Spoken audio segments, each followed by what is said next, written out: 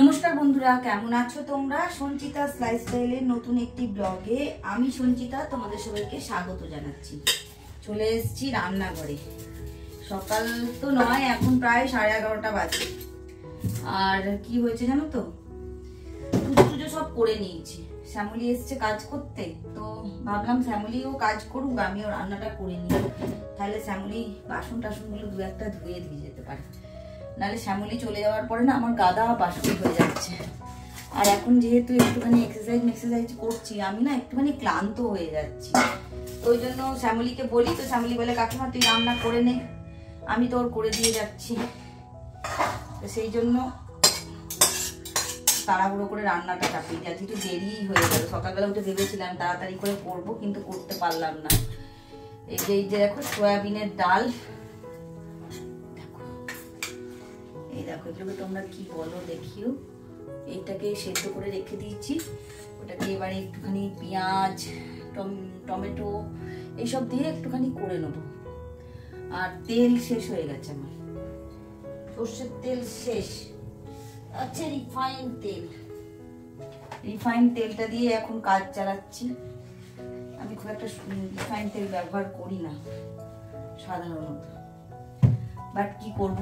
কিছু করার নেই, শেষ হয়ে গেছে, আর দিকে সময় নেই যাওয়া মাথাটা আমার খারাপ করে দিচ্ছে ডেলি বলছি, চলো চলো, আজ বলছে কাল কাল বলছে পরশু। এই করে করে আমার না মুদিখানা জিনিস আনা হয়নি এই মাসে। ফ্লিপকার্ট থেকে অল্প অল্প করে যেটুকু যা পাচ্ছি সে আনাচ্ছি। চলো, তরকারিটা প্লেটে চাপাই। তরকারি করব না, এটা একটা ভাজা ভাজা মতন করব। এসে তুই চাউমিন আছে, কুমড়োর তরকারি আছে, নিয়ে যাবি? কিসে নিয়ে যাবি? ওই টিফিন টিফিন নিয়ে নিয়ে দিয়ে খালি করে এগুলো সব ঢেলে নে। আমার ক্ষমতা নেই আমি দাঁড়াতেই পাচ্ছি না, জানিস কালকে এত আমার পায়ে যন্ত্রণা। বসে বসে আমি কেঁদেছি। আজকে তা আবার উঠে কাজ কালকে এত পায়ে যন্ত্রণা করেছি, বাপরে বাপরে, লিগামেন্টের যে প্রবলেম আছে সেইটা। এত যন্ত্রণা আছে, আমি হাঁটতেই পারছি না যেন হচ্ছে হামাগুড়ি দিয়ে আসব এদিকে কি একটা খেটে গেল। এক্ষুনি হাঁটতে আমার জ্বলে যেতাম আমি সময়টা বড় খারাপ যাচ্ছে আমার।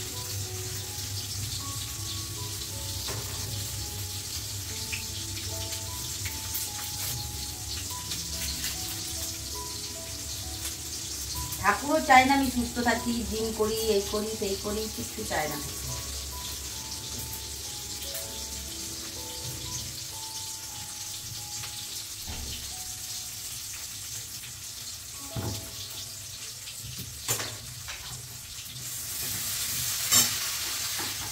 এই যে ডালটা দেখতে পাচ্ছ, এটা হচ্ছে সয়াবিনের ডাল।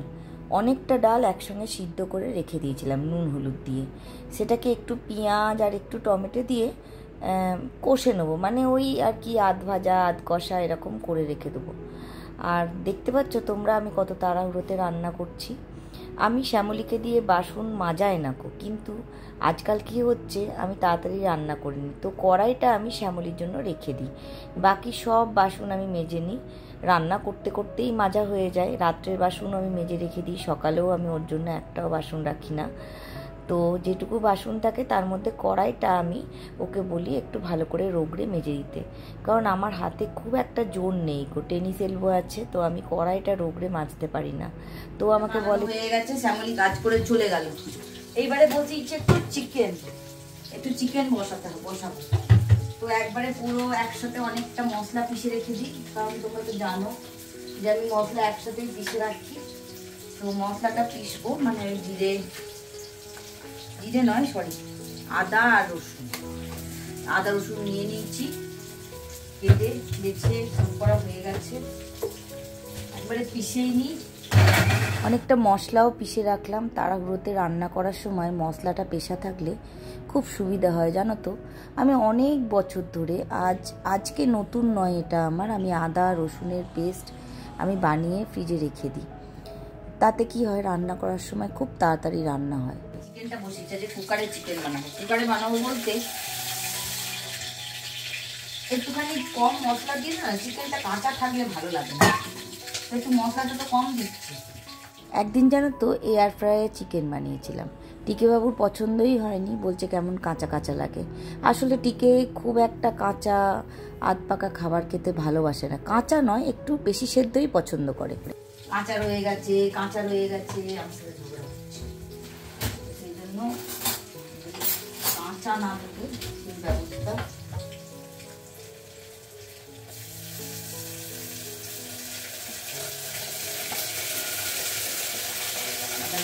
হয়ে গেছে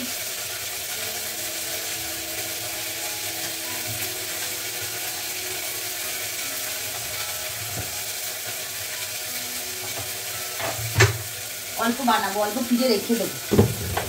বেশি বানাবো না। অল্পই বানাবো।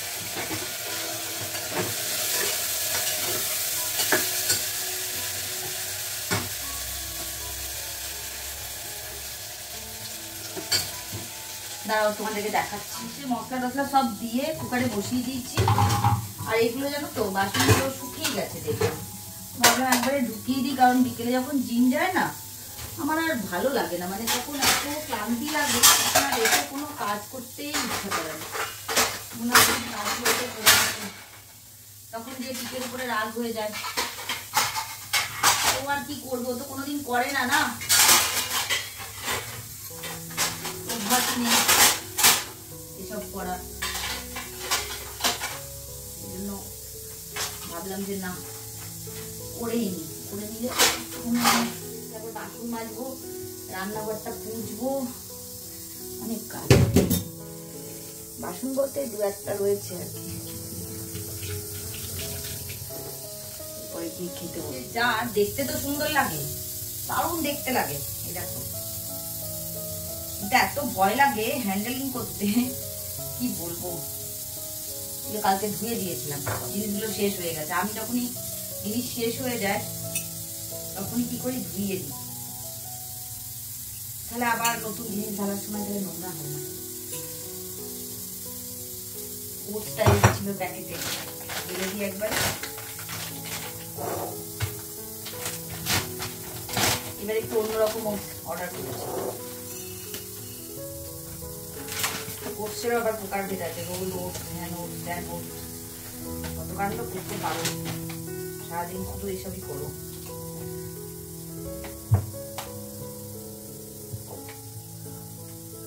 দেখি, আমি তো বুঝতে পারি না টিকে খেয়ে বুঝবে?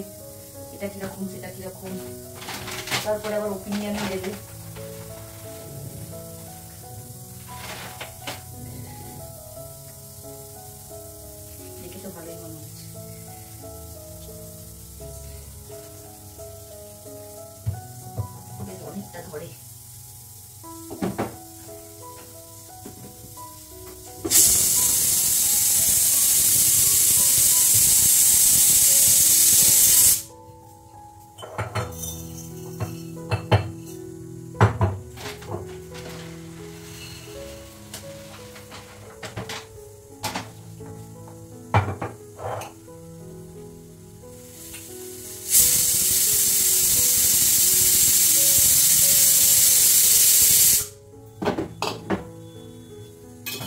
একটুখানি নুন দিয়েছিলাম এটাতে ঢেলে দিলাম।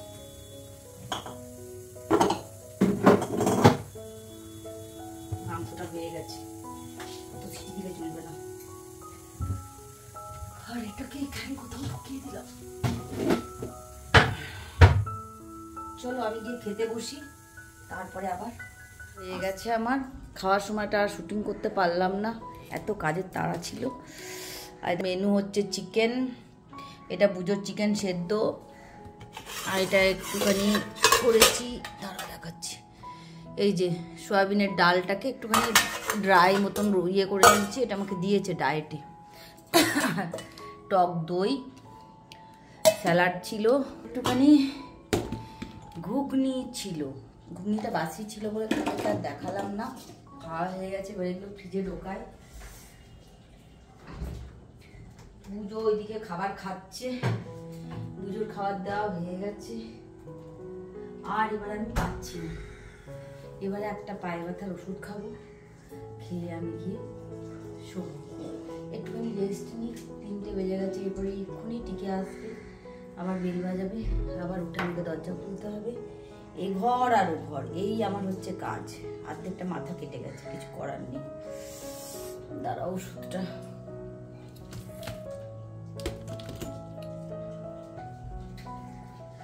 গেঞ্জিটাকে সকাল থেকে খুঁজছিলাম আমার জিমের গেঞ্জি পাচ্ছিলাম না।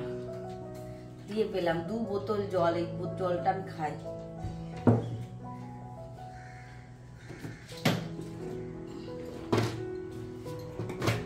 এইটা একটা না আয়ুর্বেদিক ওষুধ, পা ব্যথা। খুব আরাম পাই। তো ওইটা একটা খাচ্ছি। দুদিন এখন খাই দুটো দুটো করে। কমে গেলে খায় না কম। এটা অনেকদিন আগে একটা ডাক্তার দিয়েছিল, আয়ুর্বেদিক ডাক্তার, যে পা ব্যথা হলে খাবেন। তো আমি তাই খাই। শাড়ি পরলে না শাড়ি ঠিক রাখতে পারি না। যাই হোক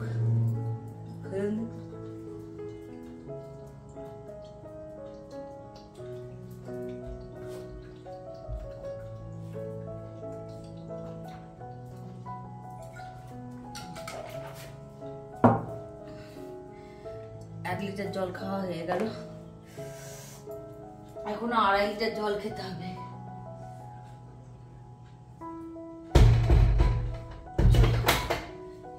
রেস্ট করি। আর পারা যাচ্ছে না। আবার বিকেলে কথা।